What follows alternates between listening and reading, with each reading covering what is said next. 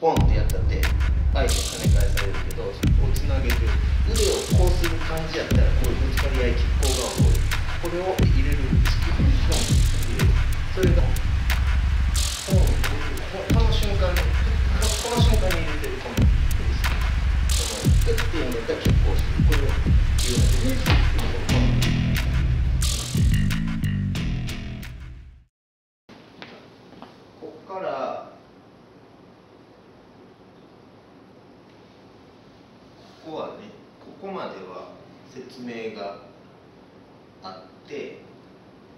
でこの時にコア入れるここで独立式になってコアを緩めて貝で開いてでまた鼠径部緩めて5でまとめて仙骨を収める軸立てる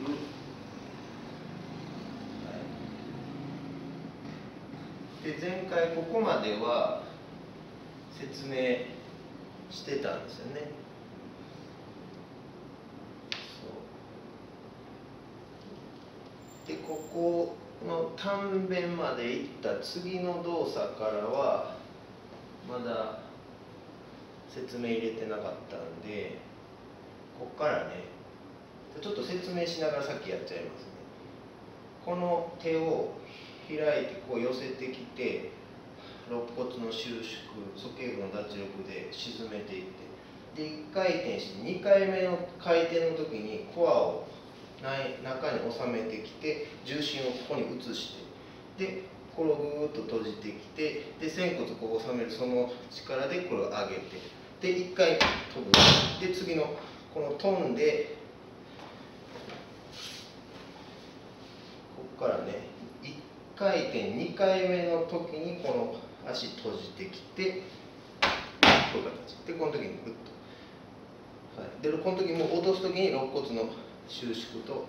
鼠径部の脱力で下にポンって沈める。でここで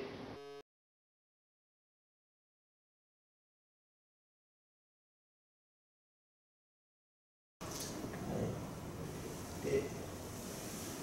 こう寄せる。でここで。でこの2回目の時ここに中に閉じてきてクロスこの時おしんプリッと出ないようにしっかり仙骨を収めてで斜め前に出したらここはこう横じゃなくて縦で縦でで。この時に前ここ伸ばしきってしまわずにここに重心残したまま開く。でここちょっと開いたら足寄せてきた時にここで。でしっかり仙骨を収めて鼠径部畳んで軸立ててこういう形。から置いてこうやってこれも縦にする。でここで縦に1回流してでここを開いた時に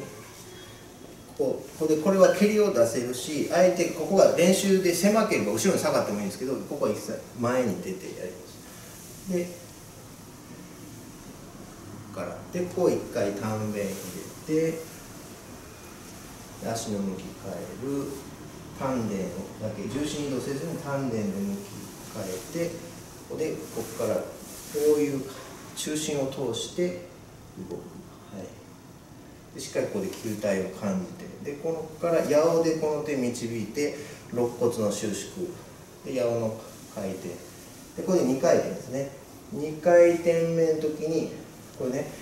1回転2回転目の時にこのコア閉じてきてこういうここね立ってと飛び上がってここで新脚で打つ。でここで引き落とすここですポンで肘打ち。ここね。でここから回転して会合の5でまとめる。で乱剤開いてこの時に八尾の回転肋骨の収縮、はい、で手を添えて体の中心持ってきて名門から指先までつなげた状態で貝で開いて5でまとめながら足寄せていく。でここで短弁1回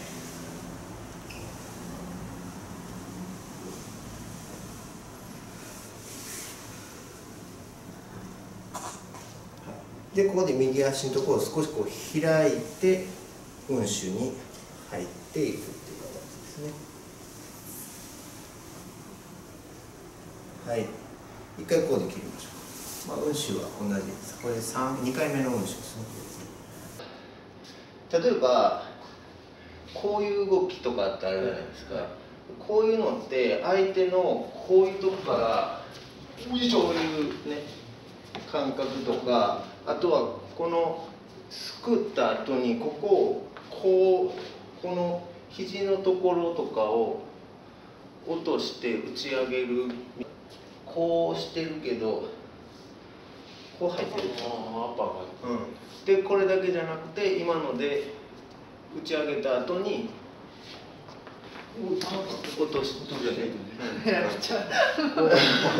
さっきねおっしゃってたようにいろんな人周りにいる状況の中でってなった時にこっちにもいるからこここよりも向こう側に行きたいってなった時にこういう感じで行きながら相手のこっちに入るっていうね。だからこのこのまあ今のちょうど位置的にレバーになるんですよ。この例えばこの位置でパンっていったのがこういってこういったところのこの角度ってこの辺でしょ。でここにフンっていうのがこの体当たりするこのフンっていう感覚にこれいや嫌ですよね。このレバーこれ入るんでフンって。うん。だからこの相手のこのこの位置このはい。ポンってこうなってる時はこのこういう感じでね。こう拳握ってる。でこの時飛ぶのは何かって言ったら飛んで位置変えてるね。でその時にちょうどここで体当たりして体当たりでここのちょうどね嫌なとこあるんでそこにこうポンって入れる。これ嫌なんですね。ローあのローキックされる嫌な位置。ところにこここう入れるっていうパターンとかみぞおちのちょうどあのレバーのところに肘入れるとかね。そういうのがあるんですけど。でで今話してたのがその両方じゃなくてこれはじゃあどうやって力出すのかと。肘こうやるだけやったらポンってやったって相手に跳ね返されるけどその太極拳の体の使い方でふってやる場合やったら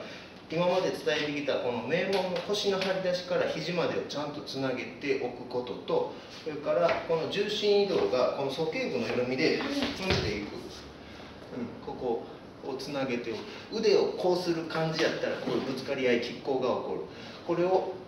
緩めて腰と肘先までをつなげておくことと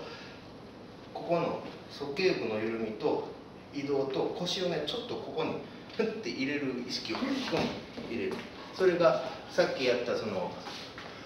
ポンってやってこのポンって入れてこの瞬間に この瞬間に入れてるこの意識ね。で今のでこれ当てちゃうとちょっと危ないんでここ中にめり込むんでそれを体当たりして感じ。だから実際にここを押さえられてたらこのグッていうのだったら拮抗してこれを緩めてグッてこんな感じ、うん